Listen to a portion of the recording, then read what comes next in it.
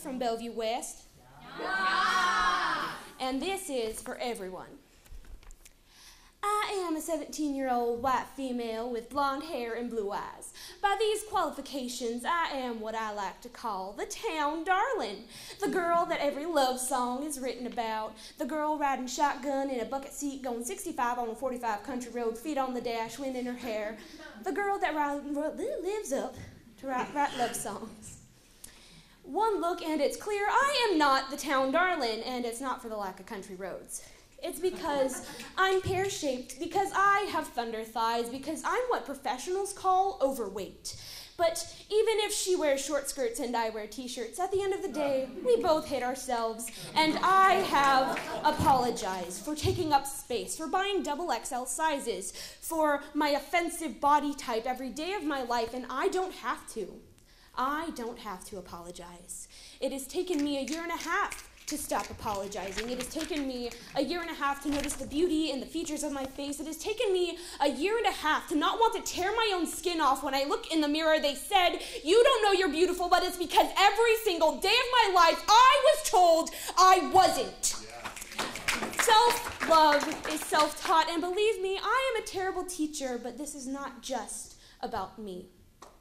This is about the girls who pinch and prod and try every get thin quick diet they can find. This is about the boys that decrease their self worth by the number of pounds they can't lift. This is about everyone who puts beauty above self love when that is only in the dictionary, who wears makeup when then gets told not to pander to the patriarchy when it's only for themselves. This is for everyone with skin that's the wrong color and hair that's unmanageable. Everyone with crooked teeth, crooked noses, crooked smiles, stretch marks, fat rolls, thigh gaps, and the the lack thereof, thin lips, thick lips, long hair, short hair, somewhere in between hair, acne on their foreheads, cheeks, backs, freckles, no freckles, maybe a few freckles, killer calves, and a buff muffin top, everyone with a body to call their own.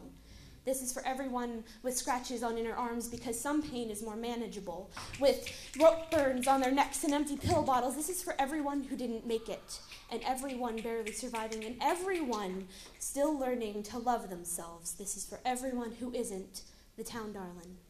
But this is also for the town darling that gets catcalls from down the street, that is throwing up in bathroom stalls to keep the weight off. This is for the jocks that work their bodies to destruction to keep their status as the alpha dog. This is for every model that competes against photoshopped versions of themselves. This is for everyone that's told you have to be one or the other. There's only the binary. This is for everyone that had a piece of themselves stolen and can't stand the t- every inch of skin that was touched. This is for everyone who can't love their bodies yet. Everyone is allowed to love themselves, allowed to want to change, allowed to change. Everyone is a victim of this toxic beauty culture. This is for you and me and my one and a half years and the town darlings and the beautiful, but not traditionally. This is our poem, our battle cry, our song. This is for everyone.